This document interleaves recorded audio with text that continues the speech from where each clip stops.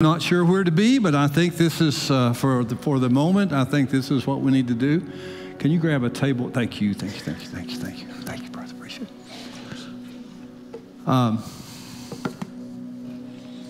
we're not done, but we'll uh, we'll just see what the Lord continues to do. But this morning, I do want to uh, lead us in a, a brief time of study together. If you'll open your Bibles, please to Acts chapter 20. Acts chapter 20. Um, grateful to the Lord for what He's done and uh, just even visiting us as He did today. I want to. Uh,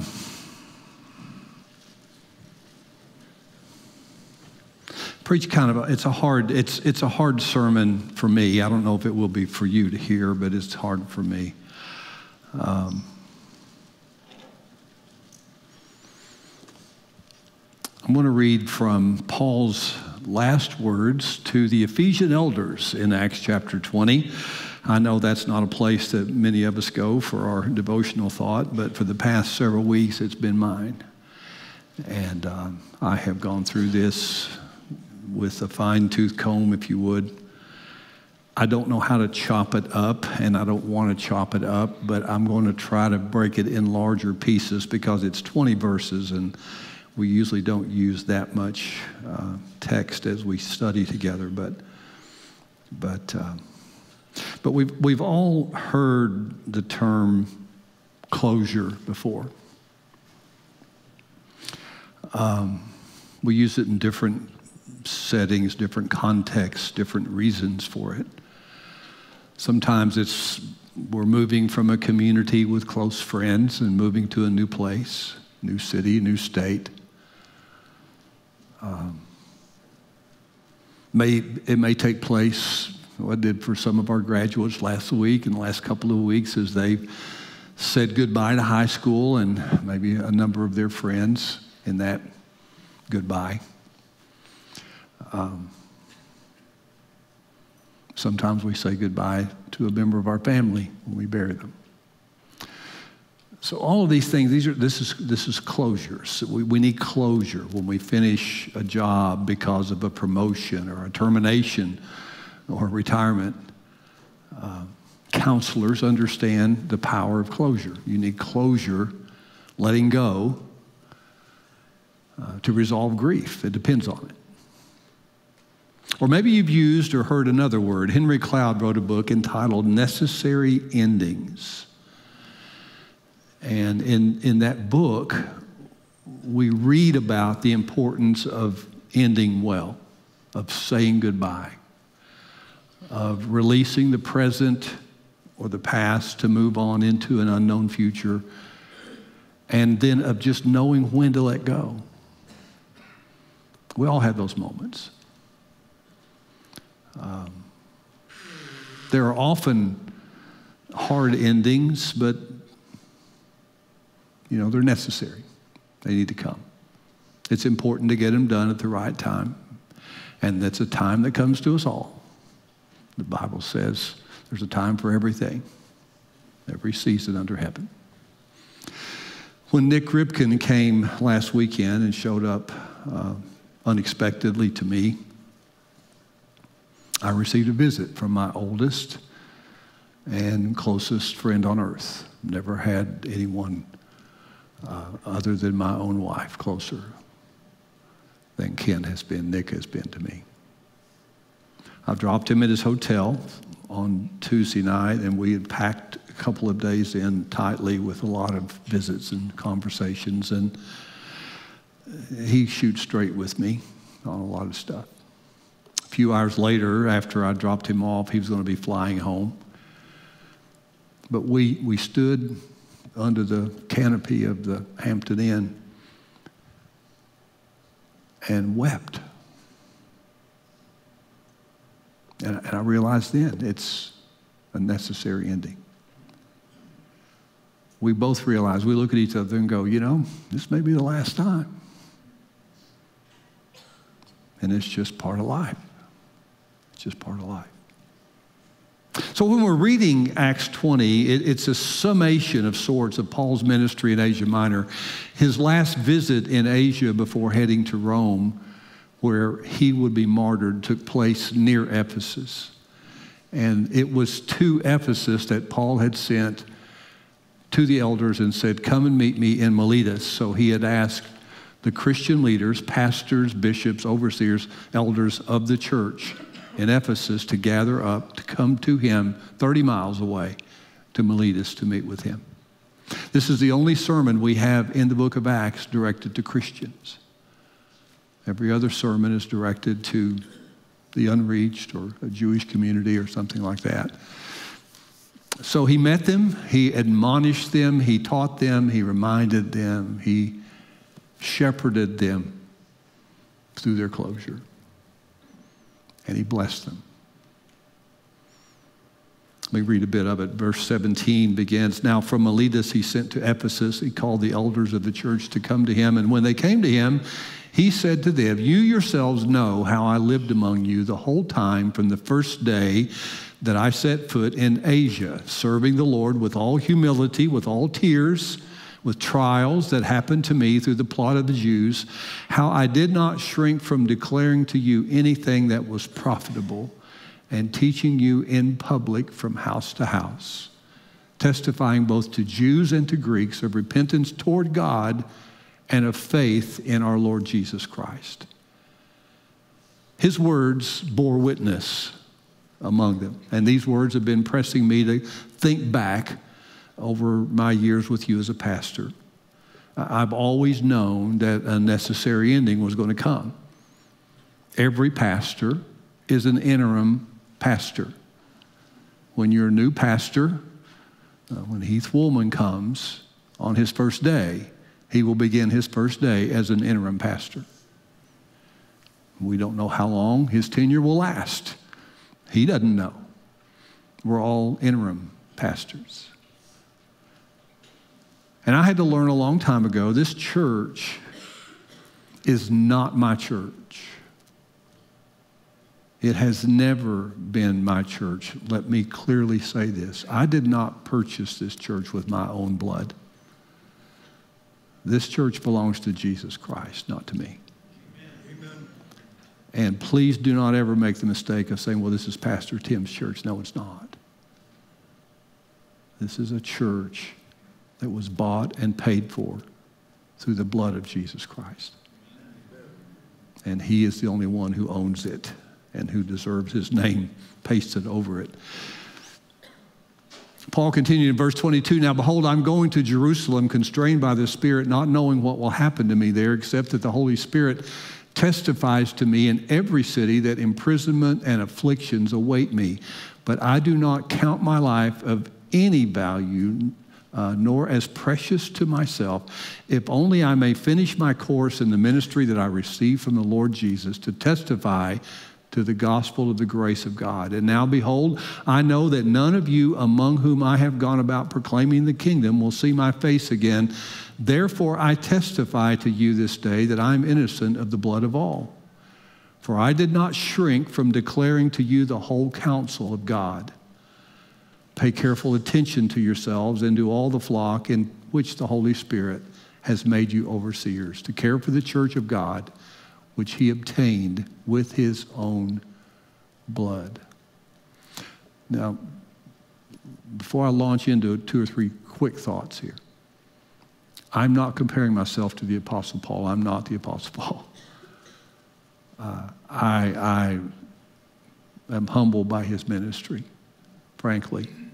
I understand it a little bit more after 43 years of doing this, but I'm not saying that, hey, whatever that says about Paul, that's saying, but I'm not doing that, okay? Please hear that.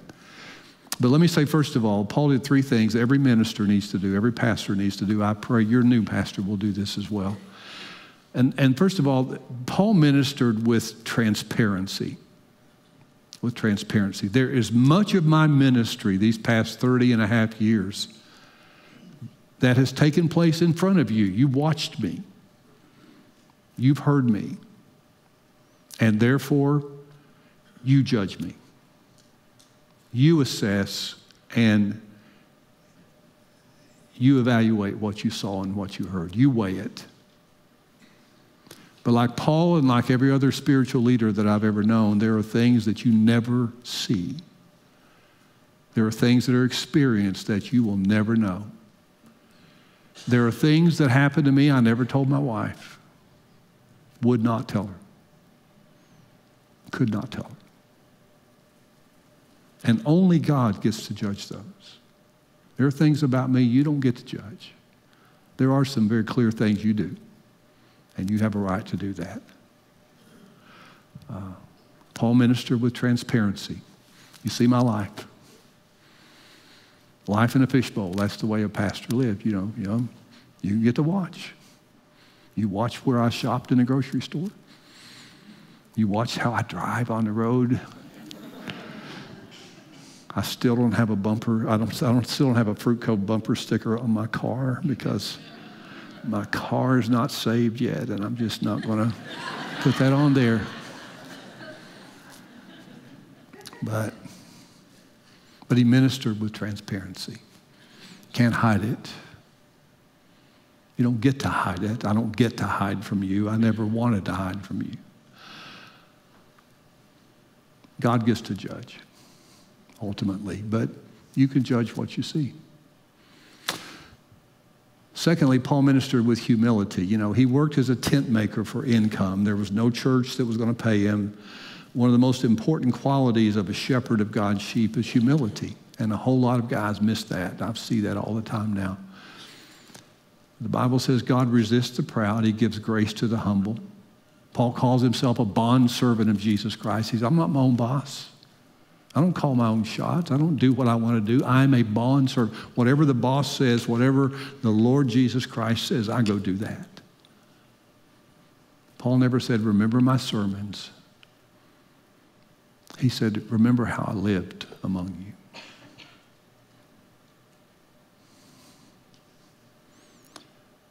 The text continues in verse 29 I know that after my departure, fierce wolves will come in among you, not sparing the flock. And from among the, your own selves will arise men speaking twisted things to draw away the disciples after them. Therefore, be alert, remembering that for three years I did not cease day or night to admonish everyone with tears. And now I commend you to God and to the word of his grace, which is able to build you up and give you the inheritance among all who are sanctified. I coveted no one's silver or gold or apparel. You yourselves know that these hands ministered to my necessities and to those who were with me. In all things, I have shown you that by working hard in this way, we must help the weak. Remember the words of the Lord Jesus, how he himself said, It is more blessed to give than to receive. And when he had said these things, he knelt down, he prayed with them all, and there was much weeping on the part of all. And they embraced Paul and they kissed him, being sorrowful most of all because of the word that he had spoken, that they would not see his face again. And they accompanied him to the ship. Paul ministered with transparency, with humility and with integrity. Said, You evaluate. I didn't covet any man's silver or gold or clothing. Now, with integrity, I have to confess to you, I stole Robert Blood's sunglasses. I didn't know at the time that I was stealing them. I found them in the back and was back one day. Nobody was around. We just had a college group here. And I thought, oh, one of the kids left their sunglasses. So I stuck them in my pocket. And then one day I needed some sunglasses and I had them in my car. And I thought, well, those are nice. So I'm wearing them all over the campus. And in the meantime, Bobby's going, How am I going to tell the pastor? Pastor, I think you stole my sunglasses. He hadn't found them, and he was, you know, it was kind of an awkward moment. And I, I uh, was actually on uh, the Saturday before Easter. I was on the parking lot with my. I'd gone to pick up Mikhail. I walked into the into the gymnasium and and uh, they were setting up for Easter Sunday, and, and Bobby was in there working at the soundboard. I walked past with my sunglasses. He said, "Hey, nice sunglasses, Pastor." I said, "Hmm." I walked in, walked out. My kids caught me later and said, Bobby, Where'd you get those sunglasses? And I said, uh, I just found them in church. You know, I just thought they were just somebody's throwaway things. And they said, Dad, those are really nice sunglasses. and they belong to Bobby Blood. so oh man, Robert, I didn't know. Why didn't you tell me I stole your sunglasses? And he said, How do you tell your pastor you stole your sunglasses? You know, so, you know, it's just one of those kind of awkward things. But well, let me tell you what a good brother he is. He just said, Well, he went ahead and bought himself another pair and said, I'm just going to give those to you as a gift. So that he, and then to rub it in a little bit, a couple days later, he walks up and he brings me this really nice case. He said, Hey, there's a case that goes with it. so, so, I now have a very nice pair of sunglasses that, uh, anyway. But. You know, a minister has three kinds of authority moral authority, spiritual authority, and institutional authority. Spiritual authority is, um, is something Jesus gives a minister. You didn't give it to him, you can't take it away. God gives that authority. All authority on heaven and earth has been given to me, Jesus said. If you have authority, it's because he gave it to you. So there's that. Institutional authority is, is basically given by the church. Um, in the vote last week, you, you voted to call Heath Woolman to receive the institutional authority of Fruit Cove Baptist Church. That means he's the guy that gets the keys now. He is legally in charge of the church. But you didn't give him spiritual authority, and you can't give him that. And then there's a third kind of authority, and that's moral authority. Moral authority is, well, we call it in other places integrity. You say, you are a minister of the gospel of Jesus Christ. And that means there's a certain way that you follow with your life. If you are not following in that way, then either your profession is wrong or your actions are off. But either way, when there's conflict between what you say and what you do, you lose moral authority. Ministers give that away all the time. Only Jesus can take their spiritual authority. You can take their institutional authority as a church. But only the pastor himself could give away his moral authority.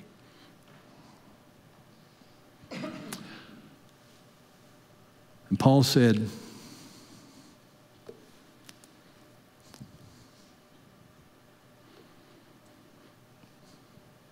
I've lived with integrity among you. I've lived with integrity among you.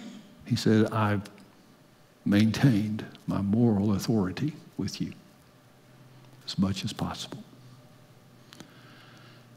And I would like to think I have done the same. I, I, don't, I don't, I'm not looking back in any way with regret for things I left unsaid or undone or opportunities I've missed or pain I've caused anyone because of my decisions or actions or words. I can't unlive or unsay anything in my life, nor can you, but we can all hope to live in such a way that we don't reach our time of closure with regret. I don't want to look back and go, man, I wish I'd done this. I wish I'd taken care of that. I wish I hadn't done that. I wish I hadn't said this to that person.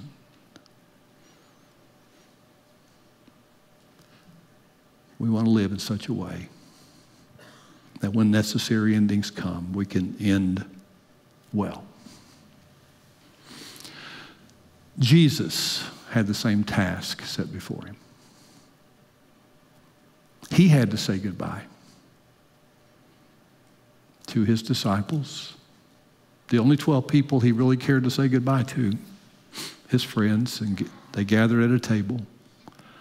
He chose to do it over a meal, and that's why I would like to do as my last act among you a meal.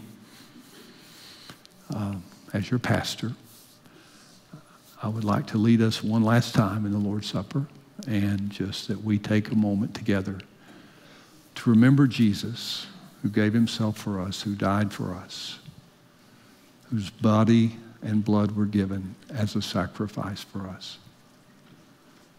Jesus was carrying a weight that night, and the weight was over. Um,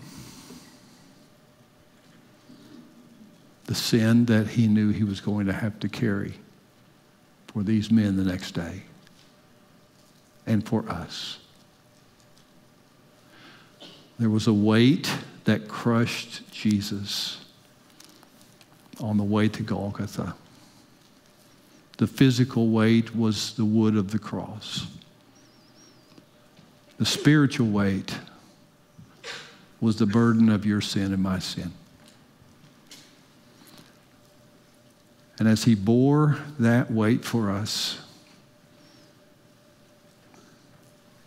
and as he allowed it to crush him, we together remember today that sacrifice he made for us. He did that willingly. And I'm going to ask you to take a moment, just as we've done before, to remove the little cellophane piece on the top and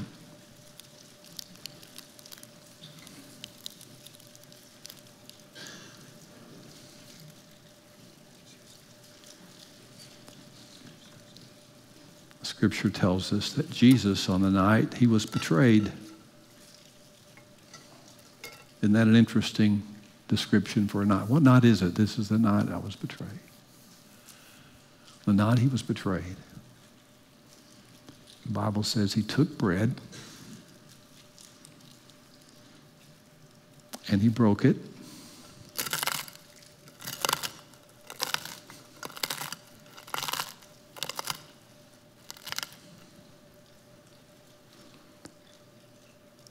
And then he gave it to his disciples. And he said, Take it and eat it. And as you do, remember me.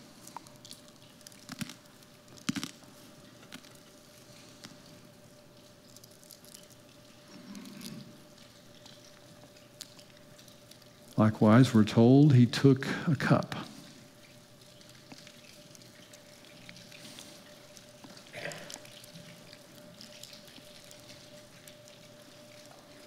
In this cup was a symbol of his blood that he was going to shed. Christianity has long been accused by its critics of being a bloody religion. I will take that criticism. It is a bloody religion because that's what it cost for our sin to be washed away. And if that's the criticism we have to wear, then we will wear that criticism and do it proudly.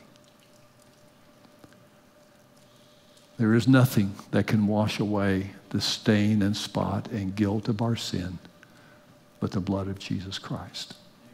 Amen. The hymn writer said, What can wash away our sin? Nothing but the blood, Nothing but the blood of Jesus. As we drink this cup, we remember his sacrifice and his blood shed for us.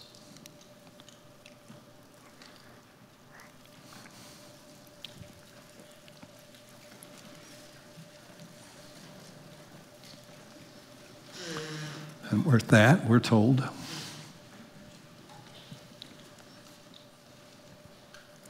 disciples went out. They went out the moment we're going to go out. But let me go back to where we started. We're not done. I change clothes for a few moments. I can change back real quick. And I don't want anybody to walk out of here who felt in their heart a stirring by the Spirit of God to say, You need to do this today. Donnie, I don't know where Donnie ended up going. Uh, Donnie, uh, Donnie said, I sat in the first service and I felt like God was speaking directly to me. This is the time for you to do this. And maybe you're feeling the same thing tonight. So, right now, uh, one last opportunity. We're going to stand, we're going to sing, and this is still your chance to come. Maybe if you just want to come today to join the church, become part of our church family, we'd love to have you come down front here. If you would like to be baptized, we'd like for you to go into those side rooms. Just go ahead and leave now. People will be there to meet you as you go through and show you what to do next. But we have everything you need ready for baptism. So if you'd like to come and do that today, let's do that before you go. And uh, we'll stay a few moments to get that done, but you come and do that. Let's stand together. Father, have your way in us as we stand in this moment. I'm so very grateful for this church. I love these people. I love this body. I will always love them. Not because they're mine, but because they're yours, Father.